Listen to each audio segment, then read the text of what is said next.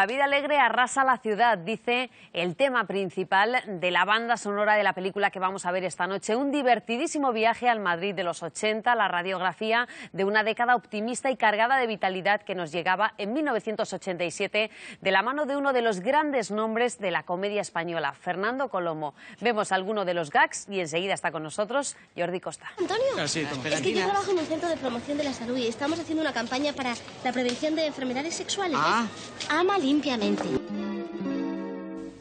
¿Qué te parece? Pues que tenía razón. Que la tiene muy pequeñita, ¿no? A los hombres hay que tratarlos con mano dura. ¿Pero qué es eso del nuevo hombre? Nosotros los machistas ya no tenemos nada que hacer. Ahora ellas prefieren los tíos más suaves, menos agresivos, claro. Están más cómodas. Y además, es que mi Paco, con los niños es demasiado. Me los peina, me los lava, me los lleva al colegio, me los hace la comida. Los tiene que dar gloria verlos. Te voy a presentar a mi nuevo Paganini. Se llama Ildefonso. Está forrado. Hablar de Fernando Colomo es hablar de comedia. ¿Qué tal? Buenas noches, Jordi. Muy bien. ¿En qué momento se encontraba Fernando Colomo cuando hace esta película? Pues la verdad es que estaba en un momento realmente difícil. Fernando Colomo acababa de dirigir El Caballero del Dragón, que era una pe- superproducción muy aparatosa, que no obtuvo el resultado esperado en taquilla, tampoco obtuvo el favor del público. Era una película ambientada en la Edad Media, con elementos de ciencia ficción. Un rodaje con estrellas internacionales como Harvey Keitel y Klaus Kinski, que fue muy difícil y muy tenso. Y bueno, necesitaba un éxito porque él confesaba estar casi al borde de la ruina y lo que hizo fue volver a lo que mejor se le daba, recuperar las esencias de la nueva comedia madrileña que tan, tan buenos resultados le había dado en películas como Tigres de Papel, que hace una chica como tú en un sitio como este o La línea del cielo. Hablas de esa comedia típicamente madrileña. Aquí estamos en los años 80. Es una película absolutamente ochentera, ¿no? Desde la estética hasta todo lo que estaba sucediendo en ese momento. Exactamente, o sea, desde en, todos los planos, o sea, no solo bueno, es una película con banda sonora de suburbano, eh, con modelitos de Ágata Ruiz de la Prada que lucen mucho, y que tienen mucha función narrativa en la historia, pero es importante saber esto, o sea, estamos en el año 1987 y la película transpira en todos y cada uno de sus fotogramas segunda legislatura del PSOE. ¿no?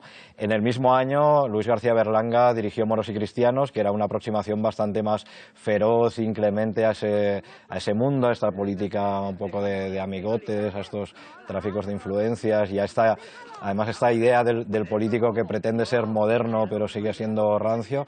Eh, Colomo no, no se acercó con tanta ferocidad, pero es una película tan sintomática de la época como lo fue Moros y Cristianos. Las películas de Colomo, si las vamos viendo, están haciendo siempre un reflejo de la realidad, además tiene una, su mirada tiene una gran capacidad de adaptación.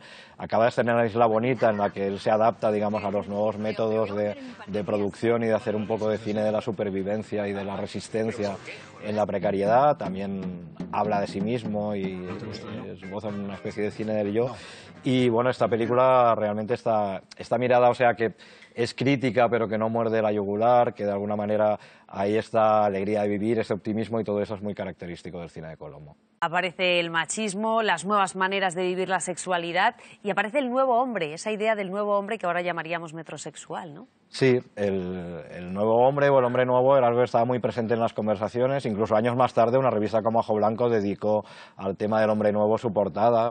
Y se habla mucho de esto, ¿no? Podríamos decir que en la película Antonio Resines y Miguel Reyán encarnan la antítesis del hombre nuevo. O sea, encarnan al, al Al macho hombre, ibérico. al macho ibérico español que se cree moderno, contemporáneo, pero que no sabe relacionarse con su mujer, no sabe relacionarse con la homosexualidad, no sabe relacionarse con una serie de cosas que están cambiando a su alrededor, ¿no? Y la película cuestiona eso de manera muy, muy divertida. Las cerillas son regalo de la casa. Gracias. Amanda. No es que estén muy bien conservados, pero se pueden fumar. Otro de los aciertos de la película y de Colomo es eh, los actores de los que se rodea. Vamos a empezar por Verónica Forqué, era su primer papel protagonista, también gana el Goya, mejor actriz, ¿cómo la ves? Bueno, a, Verónica Forqué yo la veo absolutamente impresionante, ¿no? Porque Verónica Forqué yo creo que, que es alguien nacido para la comedia, para iluminar la comedia, ¿no? Con esa sonrisa, digamos, la melena pelirroja y esto y esa mirada, o sea, yo creo que es una perfecta actriz de comedia y aquí realmente eso abrió la puerta pues a futuros papeles protagonistas. Luego Colomo volvería a trabajar con ella en Bajarse al Moro, eh, luego pues eso, a partir de ahí ella, ella acabaría teniendo también su papel protagonista con, con Almodóvar, etcétera, etcétera. Y bueno, yo creo que que es el- la gran carga de carisma de esta película, que ya es muy carismática de por sí, es, es ella, ¿no? Resines, Reyán, también vemos a Maciel, Ana Obregón, una cantidad de personajes. Sí, es una película muy, arriesgada y que en el reparto también hace algunas, claves también a, figuras más o menos populares en ese momento. Aparece Javier Gurruchaga, aparece Gran Wyoming.